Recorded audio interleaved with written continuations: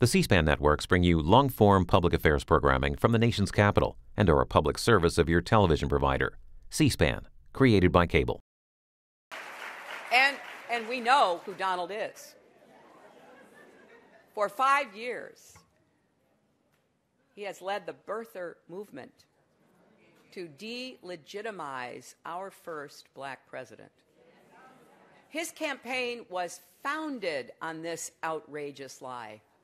There is no erasing it in history.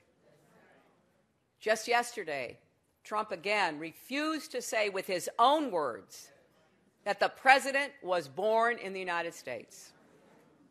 Now, Donald's advisors had the temerity to say he's doing the country a service by pushing these lies. No, he isn't.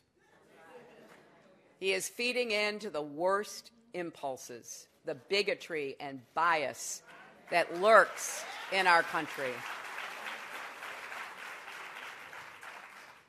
Barack Obama was born in America, plain and simple, and Donald Trump owes him and the American people an apology.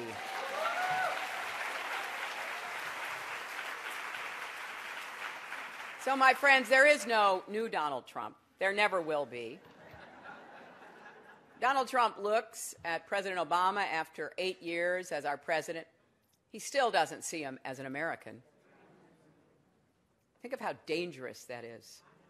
Imagine a person in the Oval Office who traffics in conspiracy theories and refuses to let them go, no matter what the facts are.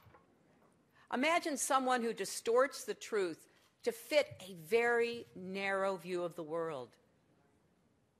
Imagine a president who sees someone who doesn't look like him and doesn't agree with him and thinks that person must not be a real American.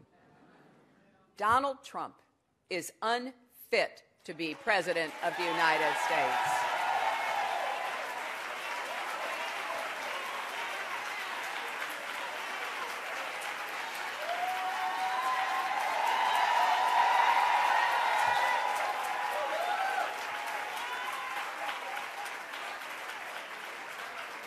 We cannot become insensitive to what he says and what he stirs up.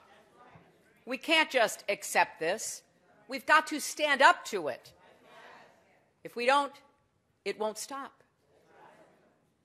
In addition to the president, Donald Trump looks at a distinguished federal judge born in Indiana, and he sees a Mexican, not an American.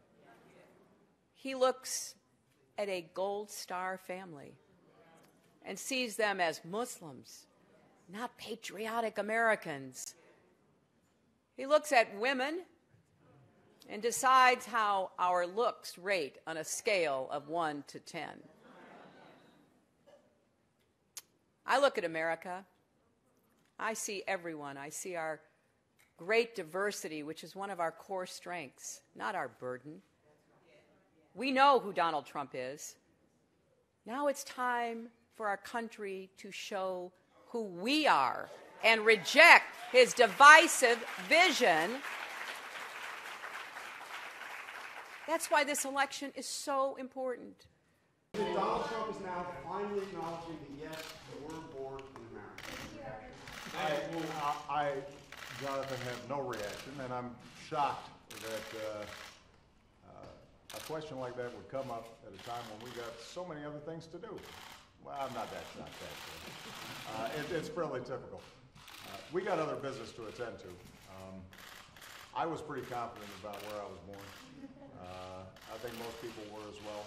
Uh, and uh, my hope would be that uh, the presidential elect, uh, election reflects more serious issues than that.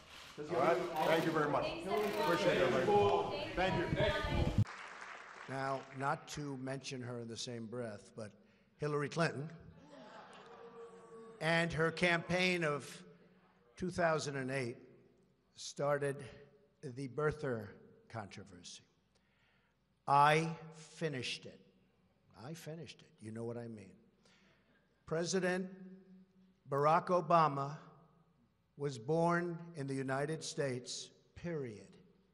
Now we all want to get back to making America strong and great again. Thank you. Thank you very much. Thank you, every. Thank you.